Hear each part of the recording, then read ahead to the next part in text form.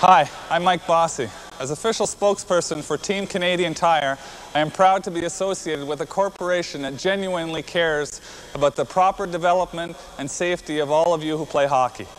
The Team Canadian Tire approach is to promote four basic principles. Skill development, participation, fair play, and fun. There is no question hockey is a physically demanding contact sport, but by staying fit and playing fair, you can minimize the risk of injury. This Smart Hockey video reinforces Team Canadian Tire principles. So remember Team Canadian Tire's message. Work hard at keeping in shape, play the game fairly, above all, remember to have fun. That's what hockey is all about.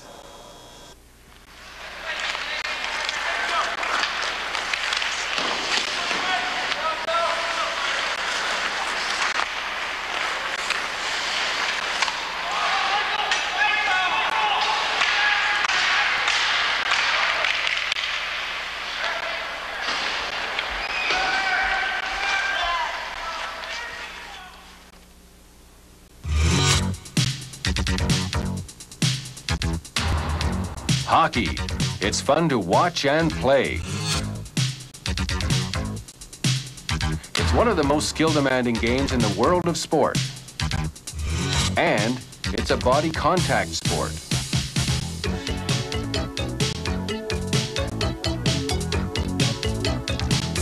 But when hockey contact hurts, or worse, injures, the fun goes out of the game.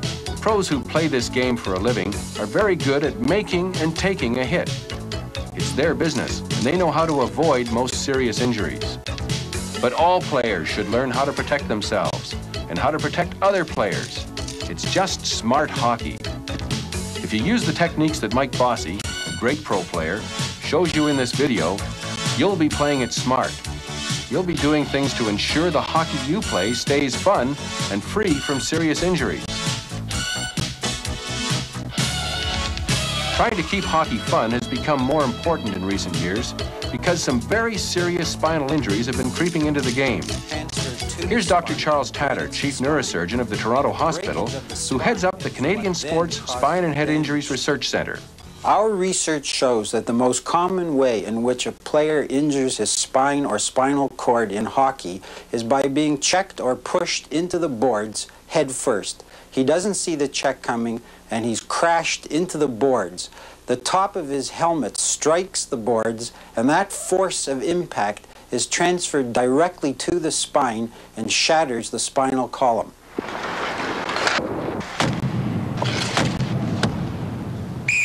This is what the human spine looks like. It's made up of individual bones called vertebrae with discs in between the vertebrae and held together by muscles and ligaments. The lower part is the lower back, this is the upper back, and this is the neck. And this is where most of the serious hockey injuries occur, in the neck. And these are the injuries that we've got to eliminate.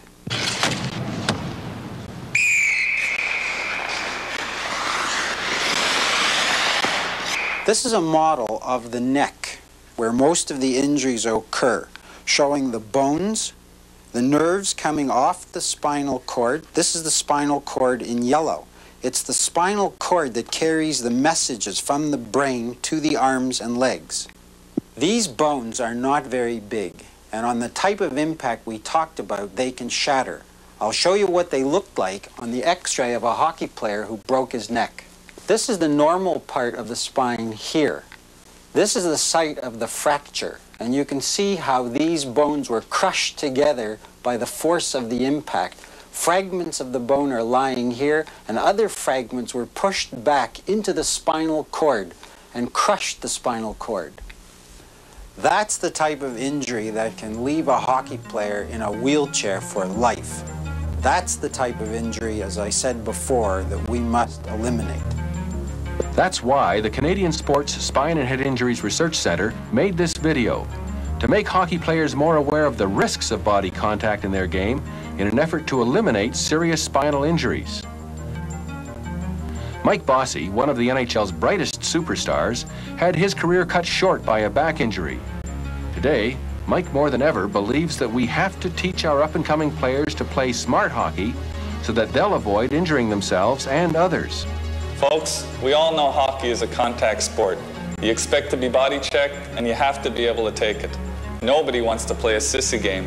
But that hitting from behind, which causes these severe spinal injuries, isn't hockey. It doesn't take courage to hit somebody from behind when he has no chance to protect himself from injury. And as well as being a gutless play, it's downright dangerous. Stop and think. How would you feel if you hit somebody like that and he wound up in a wheelchair? Dr. Tator is right. All hockey players should learn how to protect themselves and how to protect the other players on the ice too. That's smart hockey, and that's what we're going to look at now. In school, when you play it smart, you go for A's. And when you play smart hockey, three A's are very important. Attitude, awareness, and actions. And as this video unfolds, you'll see what I mean. But first, protecting yourself starts with wearing properly fitted equipment. But do you know that even the best equipment can't protect players from all injuries? That's right. And that's a real danger today. Some youngsters think they are totally safe, unable to get hurt in their hockey suit of armor. But this is just not true. And youngsters must be made aware of this fact. All the CSA certified helmets prevent cuts and bruises and do what they are designed to do. But the manufacturers cannot make a helmet this size which will protect your neck and spine if you go head first into the boards like this. They say to make such a helmet, it would have to be taller than a top hat and would be completely unacceptable to players. Next, be aware that properly preparing the body before starting to play is another protection against injury. Things such as stretching before going on the ice and building yourself up away from the rink. And this includes the muscles in your neck area. Many younger players think this pre-ice stretching is an unnecessary waste of time. They're wrong. And when you're working out, don't forget your neck muscles. A pamphlet detailing neck strengthening exercises comes with this video. Now, with the help of some up-and-coming players, I'm going to show you seven on-ice things that you can do, make that you should do, to keep the body contact part of your hockey safe and fun. And running all through these seven tips are those three A's, your attitude, your awareness, and your actions. First point is to make sure when we're going into the corner to look over both shoulders to see where the opposing players are. We also want to take the time to look and see where our own players are. So going into the corner, look right, look left, make sure you know where everyone is. That's awareness, and that's one of the A's of smart hockey. Our next point is retrieving the puck in the corner. We don't want to be standing still. We want to see where the players are coming from, retrieve the puck at an angle. If you're going to be hit, you want to be moving. Come at an angle so you can keep moving. That's an appropriate action based on your awareness. When you know you're going to get hit, be ready for it. Keep your legs moving, drive through the check. Most important thing is don't slow down, don't stop. You're going to get the worst of it. Let's show them what I mean, Sandy.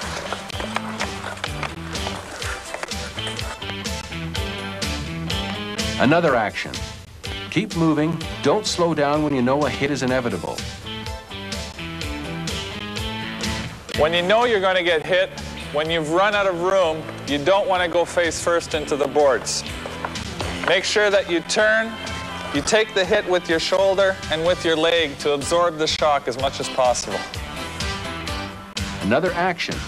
Don't let yourself be ridden off face first into the boards. Turn and absorb the check with your shoulder and your leg. Just let yourself be taken out, but keep two hands on your stick.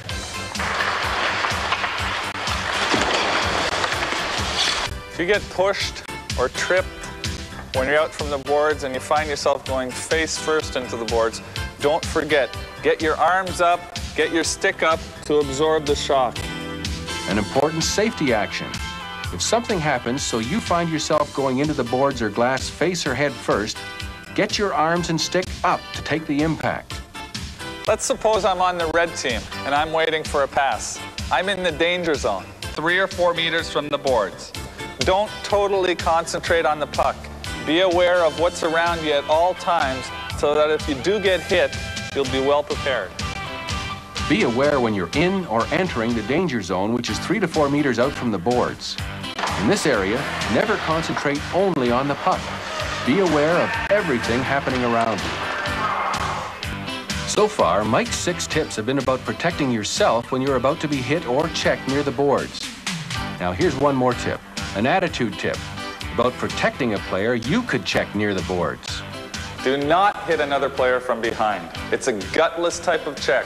It's very dangerous and it must be stopped.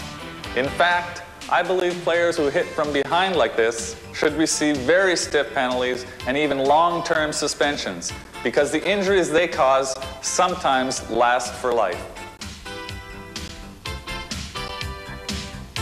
Everybody connected with the Canadian Sports Spine and Head Injuries Research Centre agrees. And Professor Pat Bishop from the University of Waterloo, who's done extensive testing on this spinal injury problem in his Human Impact Lab, adds a further word of caution. Some people think that you have to be going awfully fast in order to break your neck. Well, they're wrong. The tests that we've conducted in our impact lab demonstrate that you only have to be going about walking speed in order to break your neck. The clear message is don't let your head, particularly the top of your head, strike the boards of the glass. And whatever you do, don't do anything to the other players on the ice that would cause this to happen to them. That's right. Play it smart. Use those seven tips. And remember Mike Bossy's three A's of smart hockey. First, start with the right attitude to play so as not to injure yourself or others. Second, always be aware. Don't focus so intently on the puck that you lose track of what's happening around you and where you are on the ice. And third, based on your attitude and your awareness, always take appropriate action to safeguard yourself and others.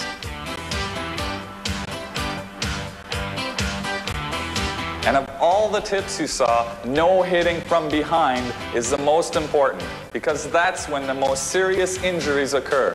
The ones Dr. Tator told us about, the ones that end players' careers.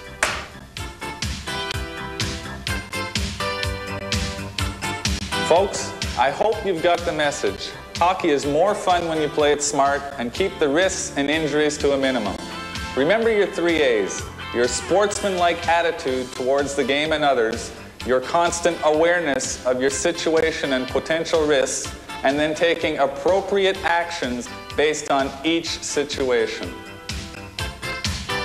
Yes, hockey is a great game. Fun to play and watch. Let's follow Mike Bossy's advice and keep it that way.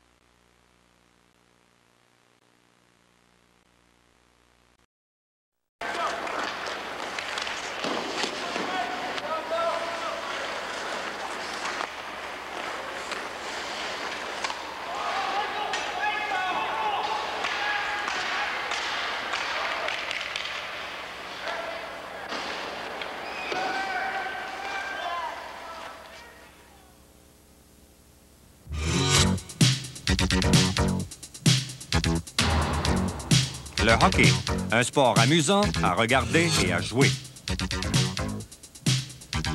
C'est l'un des sports nécessitant le plus d'habileté et c'est un sport de contact corporel.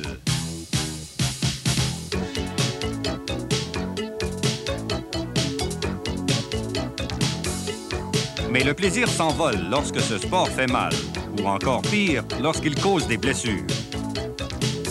Les professionnels qui gagnent leur vie avec le hockey savent donner ou recevoir une mise en échec. C'est leur métier et ils sont capables d'éviter les blessures. Mais tous les joueurs doivent apprendre à se protéger et à protéger les autres. C'est cela du hockey joué intelligemment. Si vous utilisez les techniques démontrées dans cette vidéo par Michael Bossy, un grand joueur professionnel, vous jouerez intelligemment et vous ferez en sorte que le hockey demeure amusant et exempt de blessures sérieuses.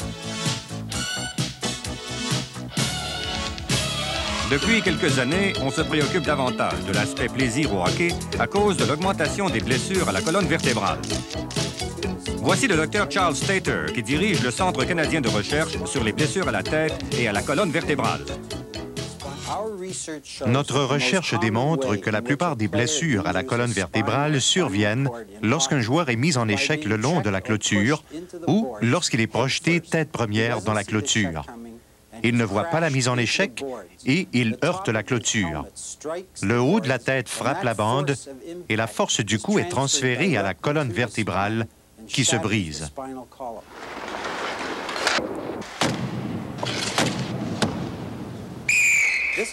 Voici l'aspect d'une colonne vertébrale. Elle est faite de pièces osseuses, appelées vertèbres, et réunies entre elles par des disques tenus par des muscles et des ligaments. La partie inférieure est le bas du dos. Voici le haut du dos et le cou. C'est là que surviennent la plupart des blessures sérieuses au cou. Ce sont ces blessures qu'il faut éviter.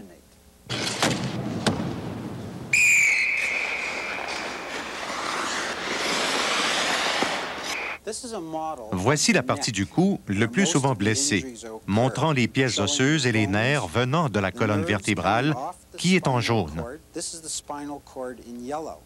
La colonne vertébrale envoie les messages aux bras et aux jambes. Ces pièces osseuses ne sont pas tellement grosses et elles peuvent se briser sous la force du choc dont nous avons parlé. Nous allons voir une radiographie d'un joueur qui a subi une fracture du cou. C'est la partie normale de la colonne vertébrale. Voici l'endroit de la fracture et vous remarquez jusqu'à quel point la force du coup a écrasé les os. On retrouve ici des fragments d'os. D'autres ont été projetés à l'arrière de la colonne vertébrale et ils l'ont écrasé. C'est ce genre de blessure qui peut confiner un joueur en fauteuil roulant pour le reste de ses jours. C'est ce type de blessure, comme je le disais plus tôt, qu'il faut éliminer. C'est pourquoi le Centre canadien de recherche sur les blessures à la tête et à la colonne vertébrale a réalisé ce vidéo. On veut s'assurer que les joueurs soient bien conscients des risques des contacts physiques, ce qui aidera à éliminer les blessures à la colonne vertébrale. Mike Bossy, l'une des grandes vedettes de l'histoire, a dû mettre fin à sa carrière à cause d'une blessure au dos. Aujourd'hui, Mike est l'un de ceux qui croient, plus que tout autre, qu'il faut enseigner aux jeunes à jouer au hockey de façon intelligente. Ils éviteront ainsi d'être blessés ou de blesser les autres joueurs. Les jeunes, vous savez tous que le hockey est un sport de contact. Vous recevrez des mises en échec et vous devez être capable d'en donner. Personne ne veut être mou, mais cette mise en échec par derrière qui cause des blessures graves à la colonne vertébrale n'est pas du hockey. On n'a pas besoin de courage pour frapper quelqu'un par en arrière alors qu'il n'a aucune chance de se protéger des blessures. C'est une preuve de manque de courage et c'est carrément dangereux. Pensez-y bien. Que diriez-vous si celui que vous frappez par en arrière devait ensuite se déplacer dans un fauteuil roulant? Le docteur Tater a raison. Tous les joueurs de hockey doivent apprendre à se protéger et aussi à protéger les autres. C'est ce que nous appelons du hockey intelligent. Et c'est ce que nous allons maintenant examiner. À l'école, lorsque tout va bien, vous recevez des A. C'est la même chose si vous jouez au hockey de façon intelligente. Trois mots sont importants. Attitude, attention, action. Rappelez-vous toujours de ces trois mots. Cette vidéo vous aidera à bien comprendre ce que je veux dire. La protection commence d'abord et avant tout par un équipement bien ajusté. Mais savez-vous que le meilleur équipement n'évite pas toujours les blessures? C'est exact. Et c'est un danger réel aujourd'hui. Certains jeunes se croient à l'abri de tout risque et de toute blessure lorsqu'ils endossent leur armure. Mais ce n'est pas vrai. Et il faut faire en sorte que les jeunes en soient conscients. Tous les casques approuvés par l'ACN protègent des coupures et des meurtrissures. Mais aucun manufacturier ne fabrique un casque assez gros pour protéger le cou et la colonne vertébrale. Si vous entrez tête première dans la clôture, comme ça. Un tel casque serait d'ailleurs plus grand qu'un chapeau haut de forme et il serait inacceptable pour les joueurs. Aussi, soyez conscient qu'une bonne préparation physique avant de commencer à jouer est aussi une protection contre les blessures. Pensez à faire des étirements avant d'aller sur la patinoire. Développez votre corps hors de la glace. Et cela doit inclure les muscles du cou. Certains jeunes joueurs croient que les étirements d'avant-match sont une perte de temps. Ils ont tort. Et lorsque vous vous mettez en forme, n'oubliez pas les muscles du cou. Un pamphlet contenant des exercices de renforcement du cou accompagne ce vidéo. Maintenant, avec l'aide de quelques jeunes joueurs, je vais vous montrer sept points que vous pouvez faire, et même que vous devez faire, pour que le contact corporel soit sécuritaire et amusant. Dans ces sept points, vous retrouverez toujours les trois mots formulés. Attitude, attention, action. Premier point qu'on veut illustrer ce matin, c'est quand on s'en va dans le coin chercher la rondelle, c'est toujours de regarder au-dessus de nos épaules pour savoir où, est-ce que sont les joueurs adverses. On veut aussi regarder où sont nos joueurs de notre propre équipe. Fait qu'on s'en va pas la, tête basse dans le coin, on regarde au-dessus de nos épaules pour savoir où sont les joueurs adverses. C'est ça l'attention, l'un des A du hockey joué de façon intelligente. Le prochain point, c'est d'aller chercher la rondelle dans le coin. Il ne faut jamais arrêter dans le coin. Il faut toujours être une cible en mouvement. Patiner à un angle qui vous permet de toujours être en mouvement. C'est une action basée sur votre attention.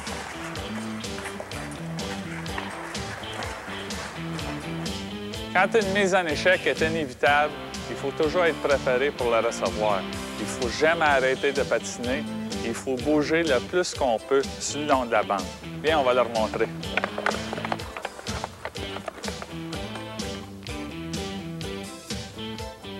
Une autre action. Soyez toujours en mouvement. Ne ralentissez pas si vous savez qu'une mise en échec est inévitable. Quand tu sais que tu vas te faire frapper, tu ne veux pas faire face à la bande. Tu veux prendre le coup d'épaule avec ta jambe, avec ton épaule, le plus possible. Une autre action. Ne vous faites pas prendre la face contre la clôture. Tournez et absorbez le choc avec l'épaule et la jambe.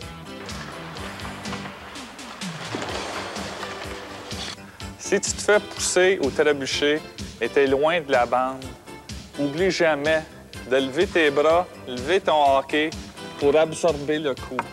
Jamais face en premier contre la bande. Voici une mesure sécuritaire importante. Si vous savez que vous allez entrer tête première dans la clôture, levez vos bras et votre bâton pour absorber le coup. Supposons que je suis dans l'équipe des Rouges. Je suis dans la zone dangereuse à 3 ou 4 mètres de la bande. Il ne faut pas se concentrer uniquement sur la rondelle. Il faut savoir ce qui se passe derrière nous. Parce que si on soit la rondelle, on ne veut pas être surpris par quelqu'un qui nous frappe. Sachez que vous êtes dans la zone de danger, à 3 ou 4 mètres de la clôture. Ne vous concentrez pas seulement sur la rondelle. Soyez conscient de ce qui se passe autour de vous. Jusqu'ici, Mike vous a donné six conseils se rapportant à votre protection lorsque vous êtes sur le point d'être mis en échec le long de la clôture. Voici maintenant une autre attitude à prendre pour protéger le joueur avec qui vous entrez en collision. Ne frappez aucun joueur par en arrière. C'est une mise en échec lâche. Elle est dangereuse et il faut la bannir. De fait, je pense que les joueurs qui frappent par en arrière devraient être sévèrement pénalisés et même suspendus pour longtemps parce que les blessures qu'ils causent durent souvent toute la vie. Tous ceux qui sont associés au Centre de recherche sur les blessures à la tête et à la colonne vertébrale dans les sports au Canada sont d'accord avec Mike Bossy. Et le professeur Pat Bishop de l'Université de Waterloo, qui a fait de nombreux tests sur les blessures à la colonne vertébrale dans son laboratoire, ajoute ce précieux conseil. Certains croient qu'il faut aller vite pour se briser le cou. Cela est faux. Les tests menés dans notre laboratoire démontrent qu'on peut se briser le cou à une vitesse équivalente à celle de la marche. Un message clair. Ne laissez pas votre tête, surtout le haut de la tête, frapper la clôture ou la baie vitrée. Et dans quelques circonstances que ce soit, faites en sorte que cela n'arrive pas à vos adversaires. Cela est vrai. Jouez de façon intelligente et suivez les conseils de Mike Bossy basés sur l'attitude, l'attention et l'action. Commencez d'abord par une bonne attitude. Cela vous évitera d'être blessé ou de blesser les autres. Deuxièmement, soyez conscient du jeu. Ne concentrez pas toute votre attention sur la rondelle. Sinon, vous ne saurez pas ce qui se passe autour de vous et où vous êtes sur la patinoire. Troisièmement, selon votre attitude et le déroulement du jeu, posez les gestes qui assureront votre sécurité et celle des autres.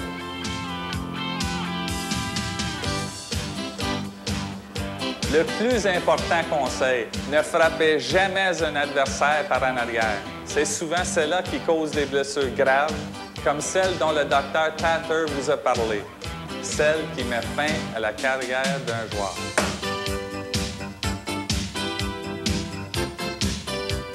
Les jeunes, j'espère que vous avez saisi le message. Le hockey est plus amusant si vous jouez de façon intelligente, ce qui réduit au minimum les risques de blessures.